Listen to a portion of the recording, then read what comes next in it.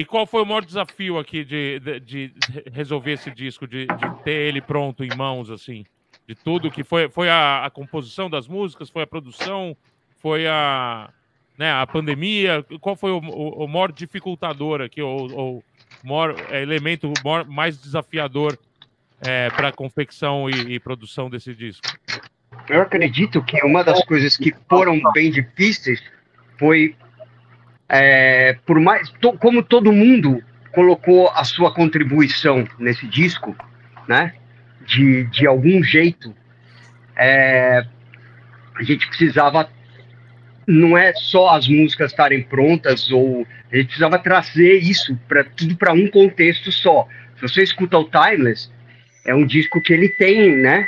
Ele tem um, um contexto, apesar das músicas serem diferentes. A gente precisava trazer essas ideias que todo mundo estava entrando com para trazer para o contexto de Timeless, do Viper, vamos dizer assim. Então eu acho que essa foi a, a parte mais difícil para esse resultado que a gente chegou.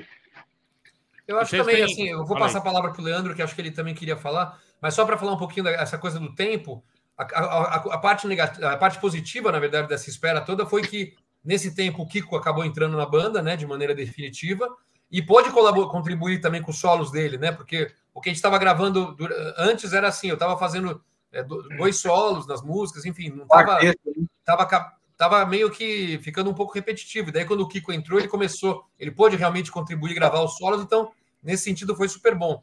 E eu acho que eu, o que mais atrapalhou, assim, na minha opinião, foi essa coisa da pandemia ter meio que isolado, assim. A gente acabou ficando com meio que dois núcleos, assim, de composição. O Guilherme e o Pete de um lado no, no estúdio, tal, trabalhando, e eu, assim, indo lá para Campinas com o Val, também fazendo uma parte assim. Então, é, foi muito diferente dos outros discos, que a gente geralmente fazia assim, o Pete ou eu chegava no estúdio com a música, falava, oh, a música é essa e a banda pegava essa música e, e trabalhava juntos, arranjos para chegar no, na gravação.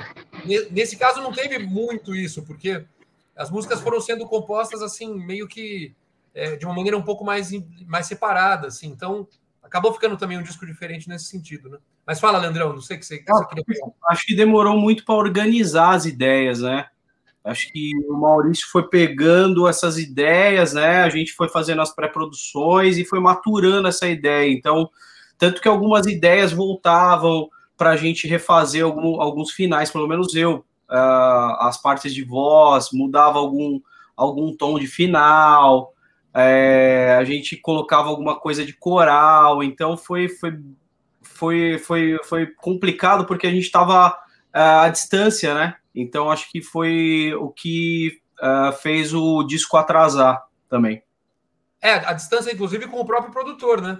As Sim. coisas eram enviadas, então não estava então, no estúdio todo mundo, né? Então também. Mas também eu, eu acho que nasceu na hora certa. Cada, hum. cada música ali, cada o disco nasceu quando ele tinha que sair. Quando a gente, a gente e o Maurício, a gente sentiu que estava pronto.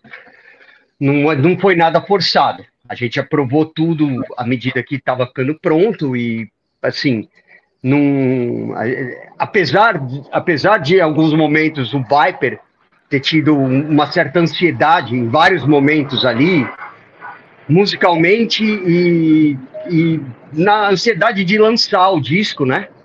A gente se perdeu um pouco nisso, mas eu acho que o disco nasceu exatamente na hora que tinha que nascer.